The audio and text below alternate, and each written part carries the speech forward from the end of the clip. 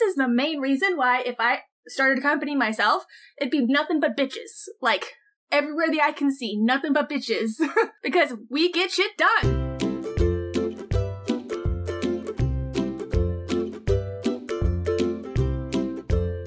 Anyway.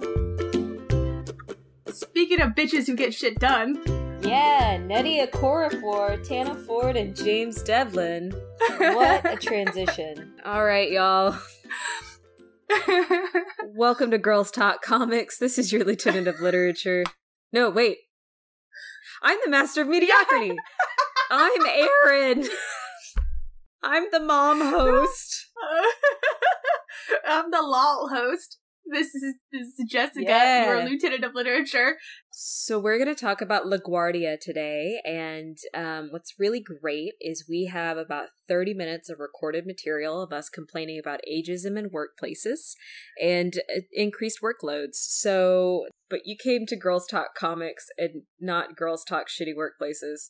Uh, however, if you're interested in that, you could always hit us up on our social media on Facebook or Twitter, and we will gladly exchange stories or kind of give a rough, anonymous telling of our own. Yeah. But we're here to talk about LaGuardia, written by Nnedi Okorafor and drawn by Tana Ford, colored by James Devlin. So this is a Hugo and Nebula Award winner.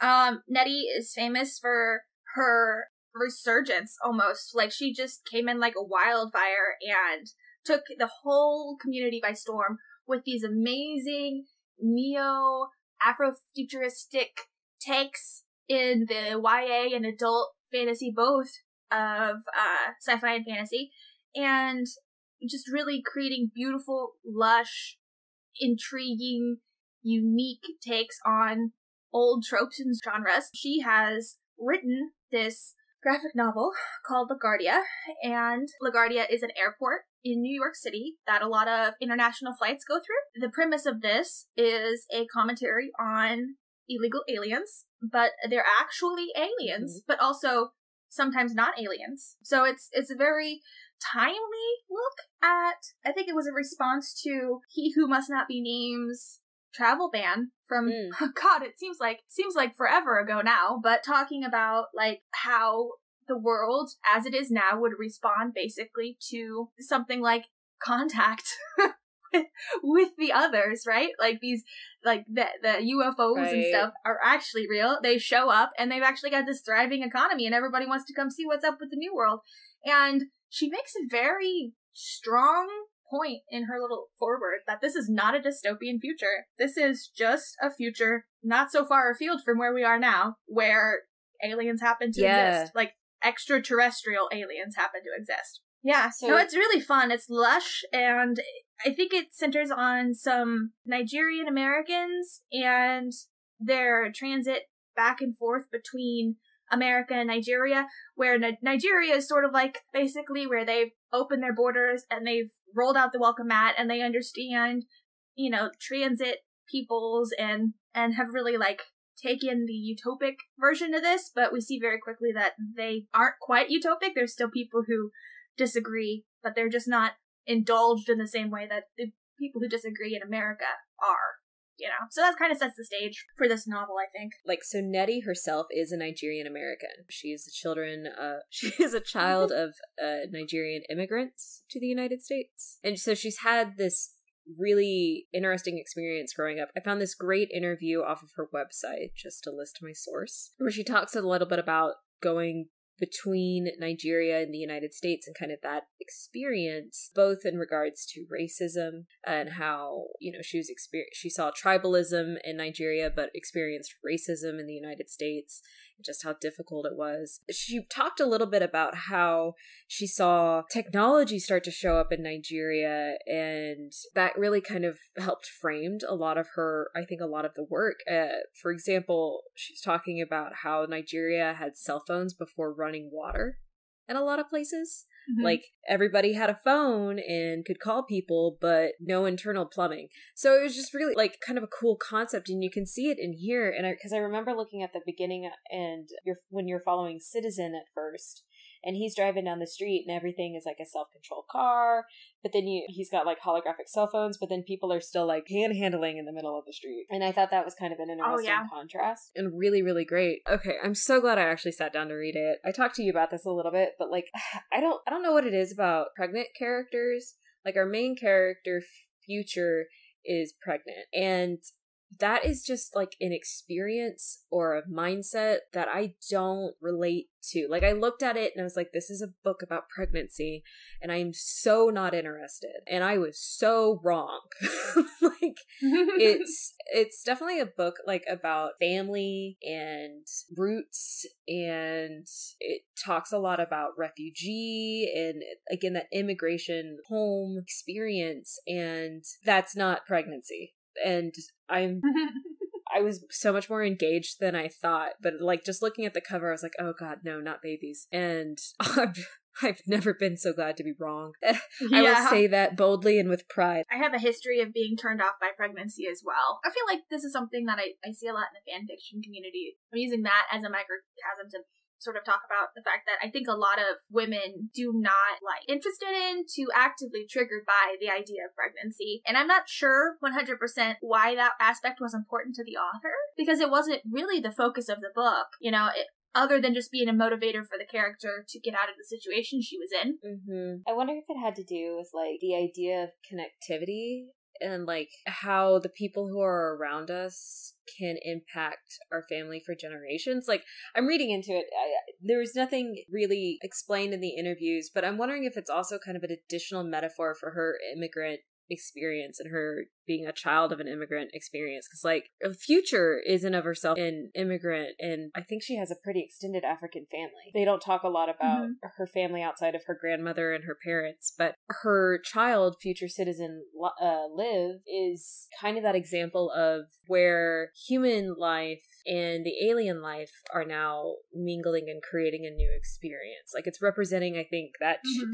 i think maybe i'm totally reading into it i'm not an expert but uh it it feels kind of like that Yeah. here's the next generation and this immigrant telling of this mixture of these two cultures that have to kind of work together and a, a coming together a, like a good coming together and how it's going to affect future generations you know does that make sense Yeah, and they use a lot of that imagery on like the the chapter pages, right? Like so they have I think those were the issue Mhm. covers they have embedded in this. So like the first one you see is her holding her belly, kind of sitting cross-legged with this sentient plant you meet later, uh, sort of holding her to the ground and surrounding her lovingly. And then like the second chapter, you see her marching in in front of a protest uh, against the travel ban, and she's got a big baby on board sign on her on her belly, and I think that's actually the one that they use on the cover of the trade back as well. Trade back, trade paperback. I think we should call them trade backs. sure Anyway, she doesn't actually get involved with that protest. You find out at ha- having read it, but it like it's I think just a visual sort of identifier. And then chapter three has this really interesting one, uh, where she's holding a seed in her pregnant belly. Basically, like it's like you see a seed inside of Mhm. her belly, and she's sort of like held up with her dread with her locks. Sorry, dreadlock is a pejorative. Uh, her locks looking like helixes, like double DNA helixes, sort of in this very snaky pattern. Uh, with this ghost of her oh shit future husband citizen kind of dwelling behind her and sh- it, so it's kind of like within her she holds the key or the seed to sort of draw together this tribalist man that she loves on an individual level and kind of bring him into this accepted intertwined experience that she is supporting and behind with her grandmother and Mhm. that home full of extraterrestrials basically you know so i get like a lot of the symbolism in this book is pretty much on the nose, right? Like the, the, the plant puts down roots. Yeah. That's important. And the outside extraterrestrial aliens are giving of themselves, their technology and DNA to help people with disabilities and with like technology. Like Nigeria was was given a lot of technology and and kind of helped bring them into the future. And you know, like you see a lot of this idea of the mothers bringing all of that together and creating something new. So I get that a little bit, but at the same time, like within the actual action, other than, you know, the fact that she has to have the baby eventually, you don't see it. I don't know, like the main focus really is, you know, the fight that they're doing to try to protect the found family instead of the one that they were born to. Yeah. Yeah. Yeah, no, it's it's great that it's not just about motherhood and intergeneration, but they actually talked about identity in that interview. And mm-hmm. I think of course Nnedi's own words are going to give herself more credit than any paraphrasing I can do. If people want to go find that interview, uh I guess we could drop a link in the below this. I could do that. Yeah. But the interviewer brings up the idea of identity and I love her response because she does talk to that, but then she also says the main characters will always be special because the power of narrative. so like her main characters are going to always be special because she's writing them. And I thought that was kind of cool. Mm-hmm. But she has an awareness and she writes to that awareness because that's the stories that she's heard, that's the story that she lived, of the interaction between her identities of that outside inside thing, about being mm-hmm. an outsider and being an insider at the same time and how that creates it. I just think the entire story has these underpinnings of themes that she talks about racial and gender equality, political violence, environmentalism, genocide, friendship, risk taking, ancient wisdom, and just kind of this, you know, again, she doesn't want a dystopian future. And I thought that was really, really cool because all of our stories about aliens, it's always alien invasion, alien invasion, alien invasion. But they have these lever, mm-hmm. these, uh, yeah, lever books. Is that what they're called? Lever's Guide, where it's the people who are leaving their planet and going to. And there's a mm-hmm. really cool line in the last one that you see, just like the entire way that it's written is it's just so hopeful and so like a tourist mag. And I freaking love it. But one of the lines that really stood out to me, you must also be also prepare for Earth's many quaint uh, staples. I guess the a thumb covers it, so you can't really see it. You'll first peoples? encounter the I indigenous known as human beings. Oh, peoples. Okay, I put staples. I don't know why, because I'm like apples are a staple. anyway, you'll first encounter the in- indigenous known as human beings upon leaving your spacecraft. They are marvelous, full of energy, spirit, and confusion. Reports inform us that Zenaria travelers should be cautious, careful, and polite. But I just thought that was really kind of an interesting way to frame it of just humans are marvelous, full of energy, spirit, and confusion. Like it's an honest but in a kind way of like they are mm-hmm. people who will be suspicious of you and they are confused about all these changes, but there's still a goodness and a wonder to them. And I just thought that was such a different way to frame it rather it being, you know, be on edge, be prepared. Because even at conversations whenever we travel abroad are always like, you're gonna get mugged. You're gonna like, don't drink the water, yeah. don't do this, this, this. It's like it's all a bunch of don'ts and not a bunch of do's. And like I was just thinking about my time traveling abroad, and though there are some serious warnings that should be had, if you don't speak the language, don't go by yourself to a lot of places in large city areas when you noticeably stand out like be cautious when you're an outsider. But i still would have preferred some stuff about like hey the people you're going to are mostly going to just ignore you. They see a lot of mm-hmm. americans. You're fine. Yeah. Okay. That's good to know. Like that that would have set me in a whole different degree of suspicion and on edgeness if somebody was just like don't really go alone to certain areas because you're a tourist this is going to be a way that you're going to be targeted and just do your thing politely and respectfully you know yeah so that's that's what really stuck out to me. I really did enjoy a lot of it. Really fun fact about LaGuardia, though, is it does take place in the same universe as her book Binti. Uh, oh, really? Book Binti. It's just about, I think, a hundred years before the book. Yeah. I, I got that from. Now I gotta go reread Binti. Emerald City Comic Con 2019 interview. I've never read it. This is actually really? my first Nnedi Okorafor title. I have Binti and like, Book it's really good. Right here, and I I actually I read Nnedi before I read Octavia E. Butler, and then I immediately like dove into a bunch of Octavia's stuff as well because she also has the same. I find that I really enjoy like mysticisms that I haven't encountered before. Like I I was always really drawn to like Greek and Roman mythology. Well, just Greek mythology with like the Roman being an unfortunate side effect of the Greek mythology. But um you know, and like yeah. Egyptian mythology like Egyptian mythology as well. And I and I I've flirted Mhm. with Christian mythology sometimes because it's just so pretty and cinematic, but I haven't really been exposed to a lot of this this kind of background, you know? Like any any like African or like very limited East Asian, you know, like Chinese, sure, maybe a little bit, Japan more so, but you know, even Indian. Like I'm very interested in in learning more about those other backgrounds that didn't get as much press whenever I was in high school. And I just got Goodreads. okay, Yeah. side note, I just got Goodreads. And so I was going through and reading a whole bunch of books to try to figure out like what the fuck I had read. And I was looking back and my poor little like library in high school, it had a lot of really good books, but it was just such a limited perspective and I like, was starting to realize that as I was sort of rating all of these books and all these scholastic things came up and I was just like, oh look how limited my poor little rural school was giving me. They were giving me a lot of Greek stuff. They were giving me a lot of like white old men sci-fi authors. They were giving me a lot of female YA authors, but they were all white as well, you know? And like Yeah. wow, this is sad. I wish this wasn't the way it was, but it's what they heard about, you know. And I'm glad I'm glad that now we have that technology and the interconnectedness to be able to sort of break through that a little bit. And also we're giving more space for people with minority voices like Nigerian Americans or you know, like Mm-hmm. Chinese Americans to really flourish in the field, you know? I like it. I dig it. You know, I more in the future. You're right about that, but I think Nnedi dug out her own space for it and was going to take no victims.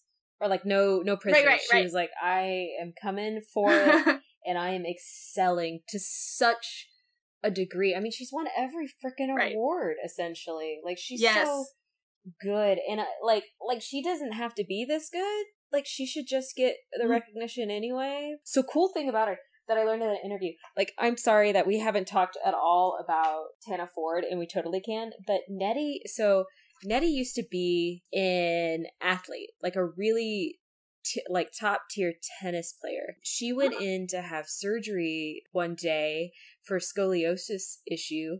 Was told there was a 1% chance of being paralyzed afterwards and was part of that 1%. So she went, she walked in, to, to quote her, she walked into the hospital, woke up nine hours later and couldn't move, couldn't feel half of her body. So she started writing as a way of surviving that and recovering from that. And like, Wow. I, you know, it's one of those things that more than anything, I wish that hadn't happened to her. So, she, you know, she could have not experienced that, but at the same time, she's such a stellar writer.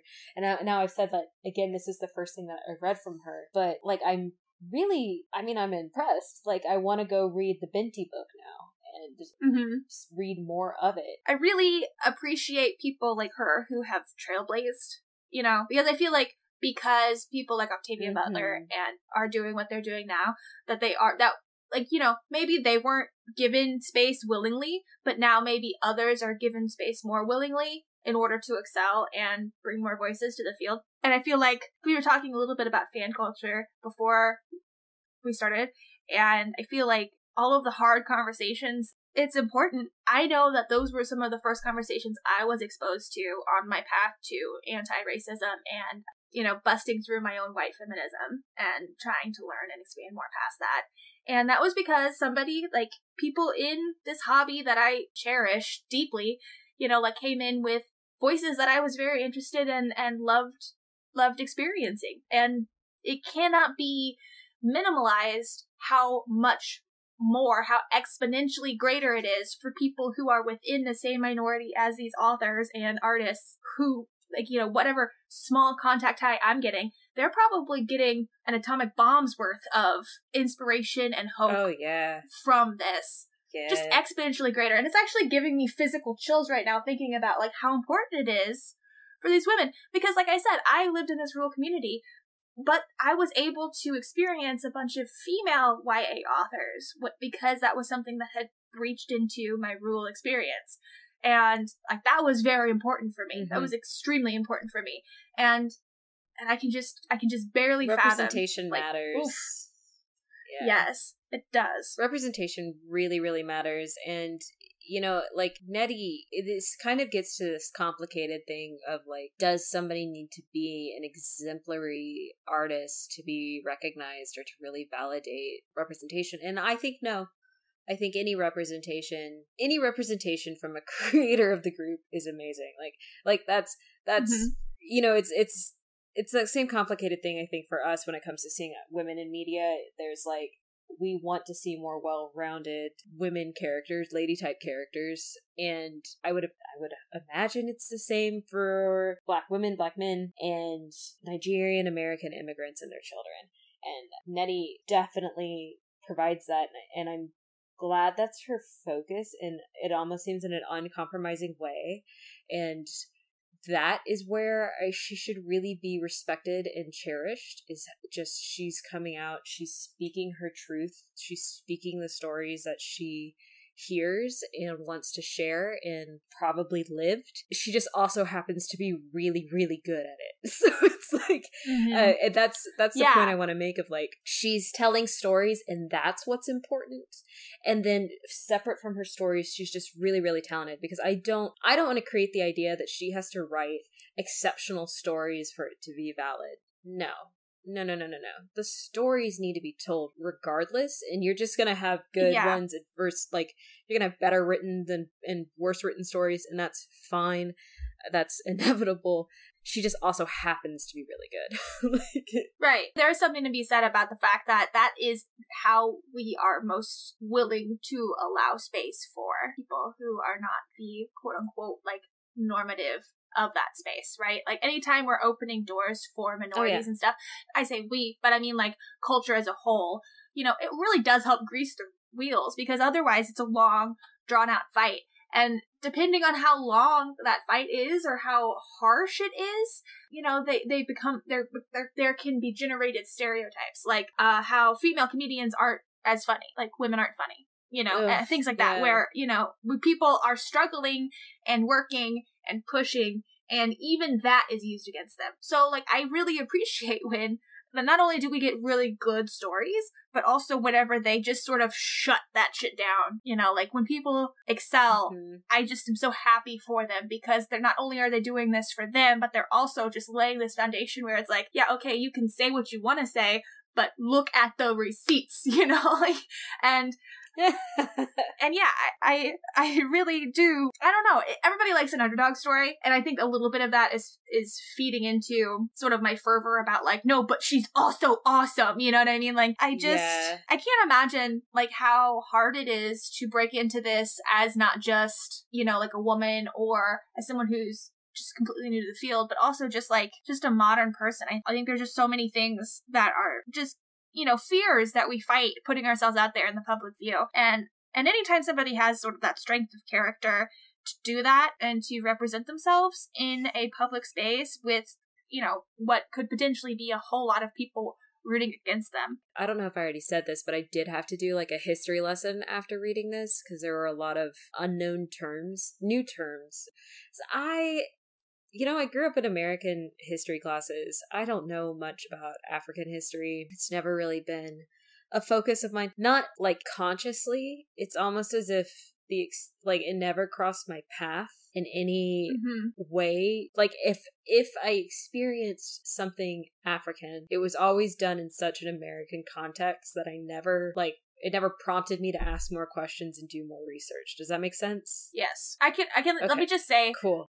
The only experience that I had with African history is we did a module on genocide. So we watched Schindler's List and then not too long after we watched Hotel Rwanda and that is that is the extent of the African history I got. That's yeah, that's kind of mine too. And for me, I went to a really progressive high school where instead of it us talking about necessarily the African experience and African history, we talked about it in the context of American slavery and American racism, which is mm-hmm. very important for my perspective for my window because I I am an American and that relationship with my my relationship with Africa as a white American is most likely racism and you know the the echoes of slavery. So that framing never made me look at africa and how it currently is. It's always how did people i'm potentially related to kind of fuck up the country. The countries the continent and yeah. practice human trafficking. And so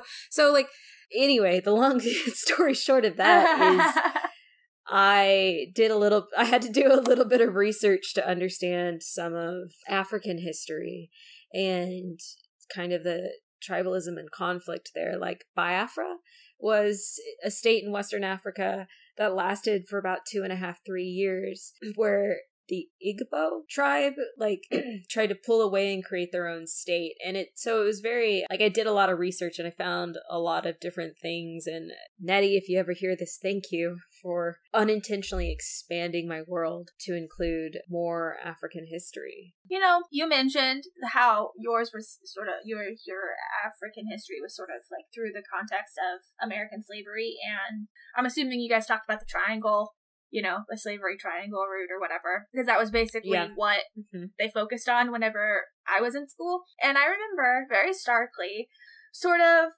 we did get a little bit about tribalism and the problems therein. Because, I mean, that's kind of the focus of Hotel Rwanda as well.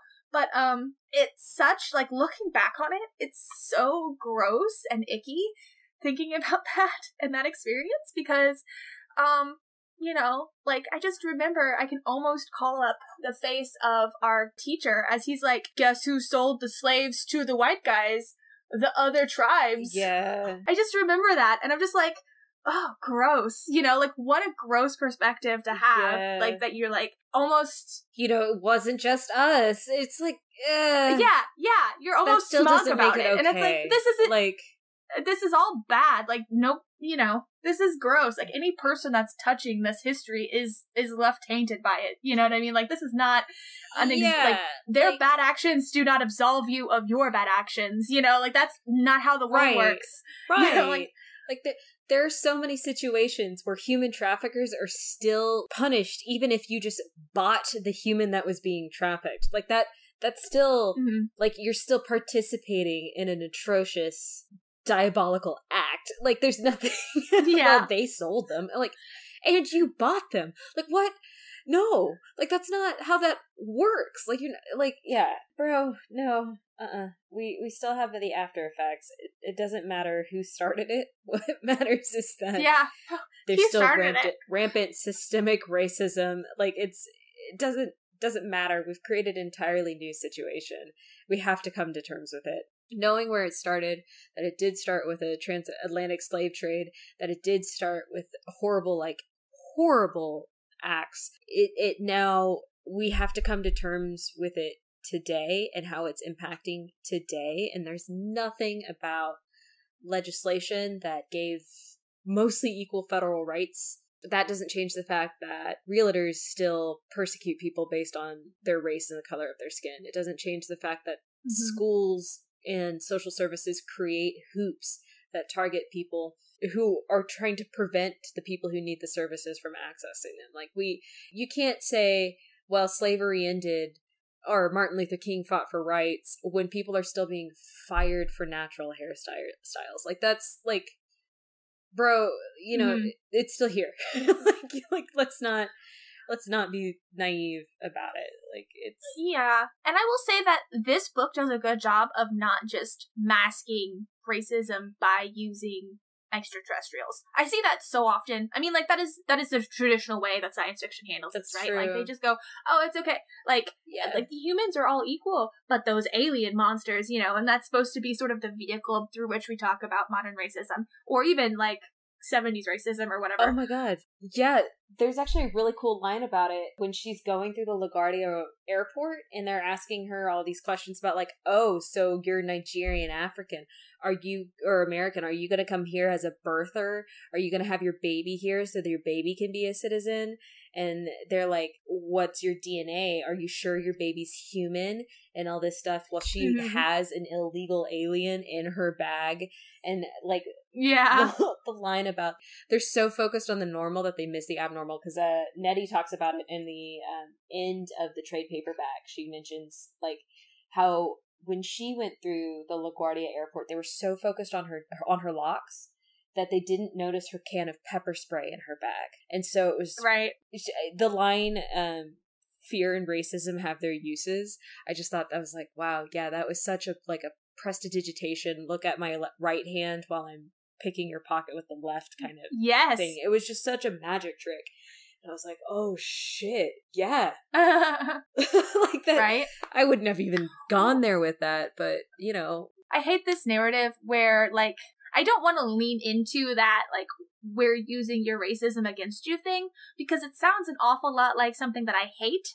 Like, I, I'm not saying, like, this is what that is doing. That's not what I'm saying. But I'm just saying, like, yeah, I like it. It's a good flavor to add, but I don't want to see this in, like, a billion books. Especially, I don't want to see this in books, like, written by, like, white people, uh, specifically. Like, people can use their own experiences how they want to in, in art, but I don't want other people to sort of latch onto that as something they can now write about in their science fiction because um it sounds Oh, an awful totally. like like that whole white men talking about like oh women are the real power because they use this subjective force in the bedroom or they they rule the house. So they are actually the people the neck that turns the head. This whole like thing that women have internalized for centuries like i don't want Oh, that kind of power because that's dangerous but i want this insight uh, like it sounds kind of like yeah like i don't want people outside the community to try to use that theme as something that they they're like now okay to like use because anytime i hear a dude go yeah but her power was a different kind of power i'm like oh vomit like no Yeah. stop Just oh stop. yeah. Fortunately, that only happens like once, and then every other time, like they can't, they don't even try to use that again. And it, Right, it's, yeah. it's such a tactic that's too risky to use because at some Exactly, point, yeah. when it doesn't work, you're the fallout of it not working. Mhm. It's that's not a valid tactic, and yeah. yeah Um. which is the same issue i have with that whole like neck that turn the head thing Yes, you're right. It's the same issue because it's not a valid like argument. It's not a valid tactic. But let's talk about something like hella fucking cute. okay yes So I was watching an interview with Tana Ford, the artist. who is by the way a part of this Yes, there is an artist for a comic. Weird. Never heard of that before. So, uh, and she, of course, has asked what's the work process because I think a lot of people are really curious about how artists and writers interact. And she was talking about in some of her experience, like, quoted another writer that she worked with who was like, yeah, these two characters fight. There's an uppercut and a kick. I don't know, just have fun with it. And but Nnedi was not that type, which also has its benefits because like Nnedi apparently was sending like picture references and stuff to, to Tana, and she was like, "Heck yes, send me pictures." Because what she could you can also do with pictures is send them to the colorist and be like, "This is your reference," right? So Nnedi found sea sheep, and sea sheep are these cute as heck little sea slugs. They're also called leaf slug or leaf sheep. They're very, very adorable. They are the tiny blue green aliens that are in the beginning of the book and on the cover of the trade. They are those are the cutest little things and I love them cuz so when you're first introduced to the scene you're uh, like of course you you meet Citizen first and he's trying to find Future the main character and then you see this ship and the ship is landing in LaGuardia and you're getting kind of introduced to New York and the landing, and you see it's this sleek design, fantastic perspective, and you think the ship is so much bigger. And out from it Mhm. comes these little blue, green, adorable, eh, like sea sheep aliens and they're walking out and you have you're not questioning anything you're like oh great beautiful wonderful and then they're walking and they're not taller than a human's foot and it's just like Mhm. it, like I saw them and I was like, oh, those are kind of cute. A little maybe uncomfortable with them being human sized, and then I see them no taller than someone's foot, and I am just devastated. And then they pull out, and you see them walking from the ship, and the ship is so tiny compared to everybody else standing there, and I'm like, this is the best introduction.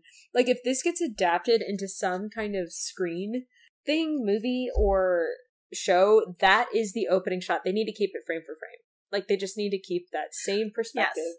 work going on because that that is just cute and it sets you up for the fact that this is a book that's not going to be focused on dystopian fear. It's so just I don't know, it's precious. Like It is precious. And you know what it reminded me of? It What? reminded me of the Men in Black scene when the main baddie tentacle like alien thing comes out and it's less it's like an itty bitty thing like barking at a dog.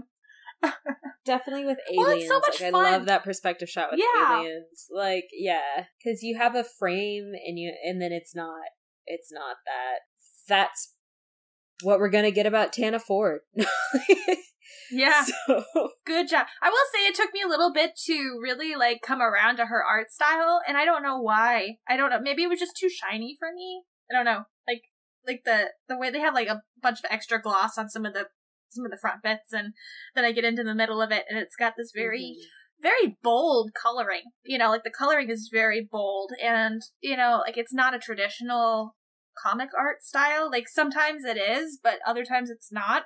It was just very confusing there's for a me lot to going on. sort of get it. my head around. There's yeah. a lot going on in it, and so it's kind of. But I, I mean, I get what you're saying, but there's this book has a lot of detail.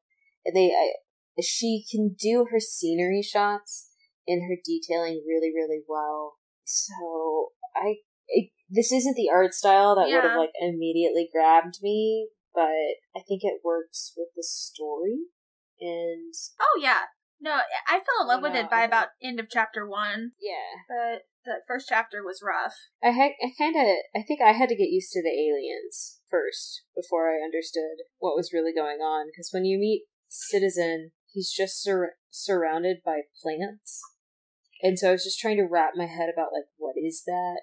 What is you know what's the context? Like I knew to look for aliens, but the design, the florals were just so alien, but um, that it took me a little while to get it and to understand it.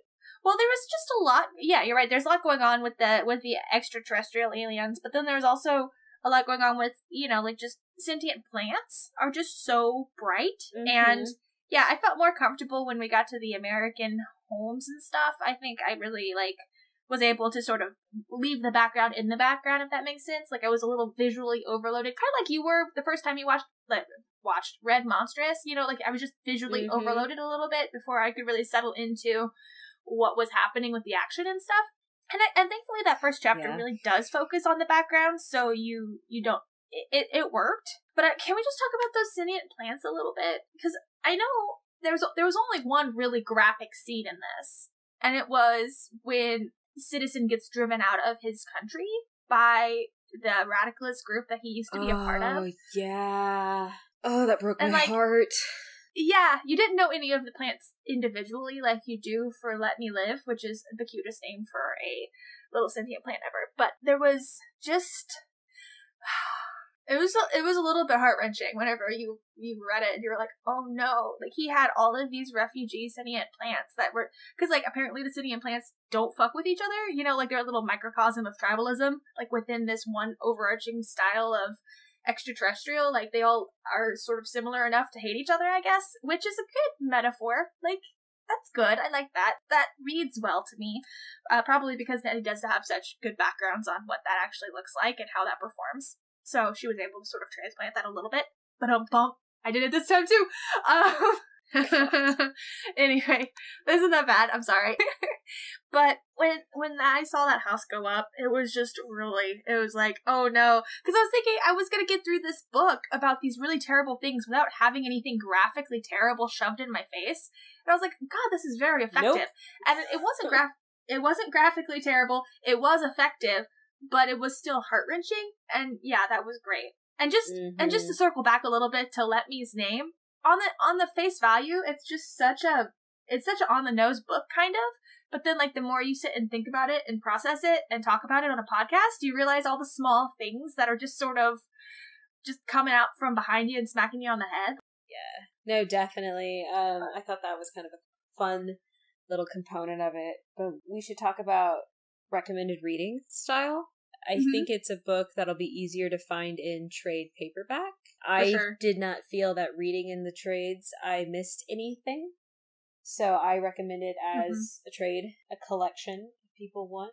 Did you read it as a collection or did you read it in individual issues? Yeah, I read it trade back. I'm making that work. It's gonna be it's gonna be a thing. I'm gonna make fetch work. Uh, so yeah, I read it in trade back. But I think that the going back to like the art style a little bit and the coloring, I think you could totally buy an electronic copy of this. It felt kind of electronic to me reading it, like the way it was printed. So I, I don't think you would miss anything if you just like bought this electronically if that's your jam. You don't have a place to go buy books locally that doesn't support the man.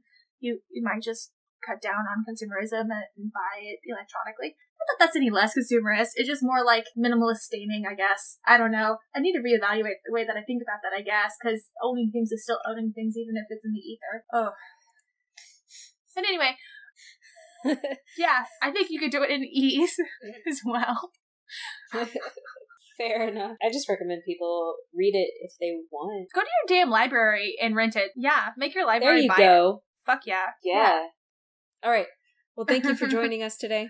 We will see you all next time. Bye. Bye. Uh, hint to you: the author's name is pronounced Nnedi Nnedi. Okorafor, Okorafor. Nnedi a Okorafor. like Eddie with an N on the front. We're keeping that.